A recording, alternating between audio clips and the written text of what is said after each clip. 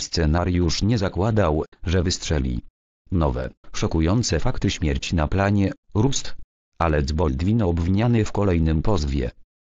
Scenariusz nie zakładał, że Alec Baldwin wystrzeli z broni, napisała w pozwie opiekunka scenariusza filmu, Rust, mamie Mitchell. To kolejny pozew przeciwko aktorowi po tragedii na planie filmu. Baldwin śmiertelnie postrzelił operatorkę zdjęć Hallinę Hutchins.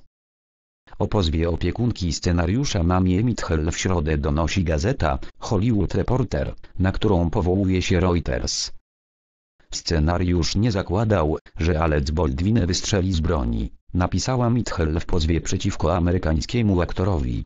To drugi pozew, który trafił do sądu w Los Angeles w związku z tragicznym wydarzeniem 21 października.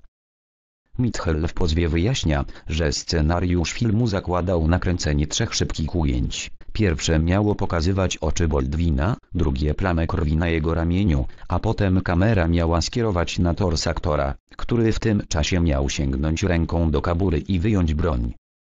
Scenariusz nie mówił o tym, że z broni ma wystrzelić Baldwin lub jakąkolwiek inna osoba, napisano w pozwie, w którym Mitchell oskarża także aktora o napaść, celowe zadawanie cierpienia emocjonalnego i celowe wyrządzenie krzywdy. Nie sprawdził, czy broń jest naładowana Mitchell podkreśla, że nie przeprowadzono żadnej próby sceny, w której Baldwin miałby wystrzelić z pistoletu, a w momencie strzału kamery nie były włączone. Obwinia także Baldwina, że aktor nie sprawdził, czy broń jest naładowana. Alec Baldwin powinien założyć, że broń, o której mowa, mogła być naładowana i powinien ją sprawdzić. On nie miał prawa polegać na jakimś rzekomym zapewnieniu asystenta reżysera, że jest to zimna broń. Baldwin nie może skryć się za inną osobą, aby usprawiedliwić fakt, że sam nie sprawdził broni, napisała Mitchell. Mitchell wyjaśnia także w pozwie, że Baldwin jest wystarczająco dobrze zaznajomiony z protokołami bezpieczeństwa w branży filmowej, aby wiedzieć, że to zbrojmistrz planu powinien mu zademonstrować puste komory na naboje w pistolecie. Opiekunka scenariusza zwróciła także uwagę, że zabiegi oszczędnościowe, w tym zatrudnienie mało doświadczonego zbrojmistrza, zagrażały życiu członków ekipy, nagrywającej film, Rust. Drugi pozew to drugi pozew wniesiony do sądu przeciwko Baldwinowi.